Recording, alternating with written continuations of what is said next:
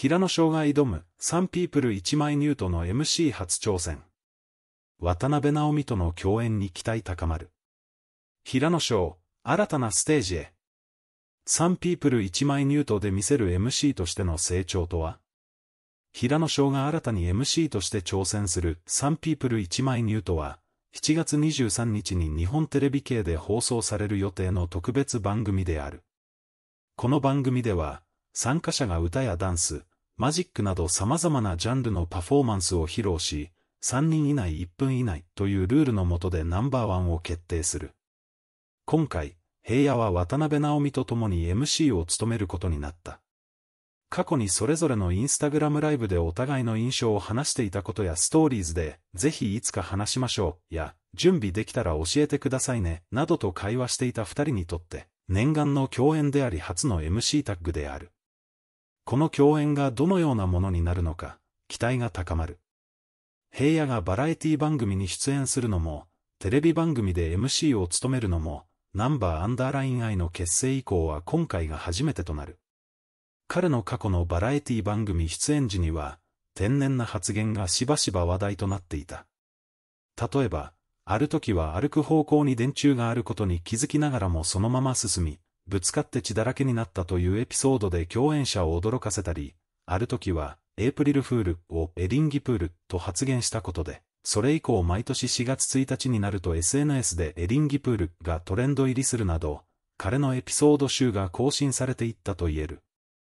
しかし、バラエティ番組の特性上、そういった面白い発言がクローズアップされがちであるのもまた事実だ。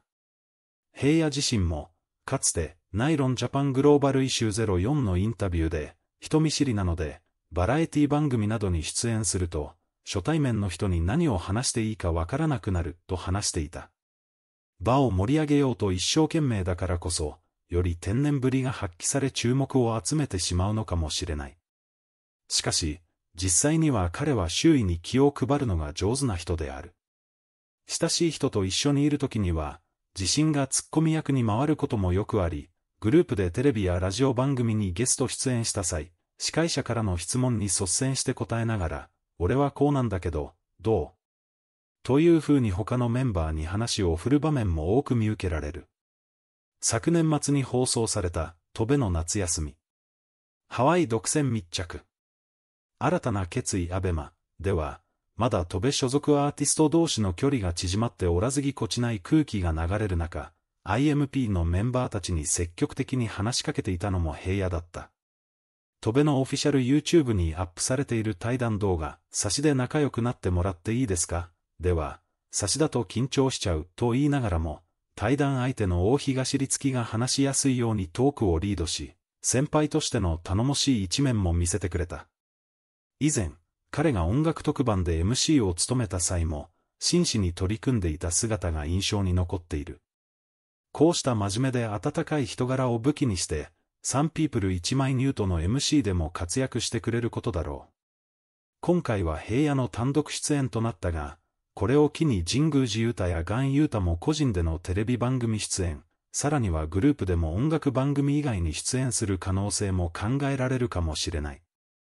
ナンバーアンダーラインアイとしてデビューしてから半年以上が経ち、より多くの人に自分たちを届けるという意味でも、様々な経験を積む意味でも、少しずつ活動の場を広げているところなのだと思う。これからどんな動きを見せてくれるのか、過去の経験や人との関わりなど、一つの出来事がいずれ別の何かに結びつくことは多々ある。点と点をつないで線にするためにも、今はたくさんの点を打っていってほしい。そして、未来でどんな景色が描かれるのか楽しみにしている。では、ここで少し視点を変えてみよう。平野翔が今回の MC 挑戦を通じてどのような成長を遂げるのか、そしてその成長が彼のキャリアにどのような影響を与えるのかを考えてみたい。平野が MC として成功するためには、単に天然な発言や面白いエピソードを提供するだけでなく、より深い人間関係の構築や周囲とのコミュニケーション能力の向上が必要だろう。彼がこれまで培ってきた周囲への気配りやリーダーシップをどのように発揮するかが鍵となる。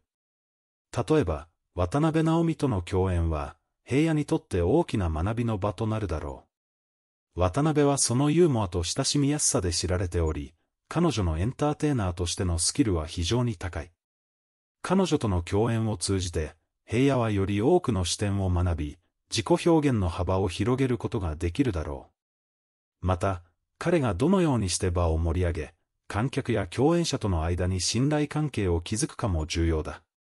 これらの経験は、今後の彼のキャリアにおいて貴重な財産となるだろう。さらに、平野が今回の MC 挑戦を成功させるためには、自分自身の強みを最大限に活かすことが求められる。彼の天然な一面や面白いエピソードはもちろんのこと、そのまほめさや周囲への気配り、リーダーシップを持って、番組をより良いものにしていくことが必要だろう。彼の持つ魅力をどのように発揮し、視聴者や共演者に感動を与えるかが注目される。また、平野が MC として成功するためには、自己改善や自己成長への意欲も欠かせない。彼がこれまでに経験した様々な出来事や挑戦を通じて得た教訓を活かし、新たな挑戦に向けて努力する姿勢が重要だ。彼がどのようにして自己を成長させ、より多くの人々に影響を与える存在となるかが、今後の彼のキャリアにおいて重要なポイントとなるだろう。そして、平野が今回の MC 挑戦を通じて得る成長は、彼自身だけでなく、ナンバーアンダーライン愛全体にも大きな影響を与えるだろう。彼の成長がグループ全体のパフォーマンスや活動にも良い影響を与え、さらなる飛躍を遂げることが期待される。グループとしての結束力や協力体制も強化され、より多くのファンに愛される存在となるだろう。最後に、平野の挑戦がどのように進化し、彼のキャリアにどのような影響を与えるかを見守りつつ、彼が持つ可能性や未来に期待を寄せたい。彼の努力や成長が、彼自身だけでなく、多くの人々に影響を与え、感動を与える存在となることを願っている。彼の挑戦が成功し、新たなステージへと進むことを楽しみにしている。平野翔の MC 挑戦が成功するためには、彼が持つ多彩な才能と人柄が重要な要素となることは間違いない。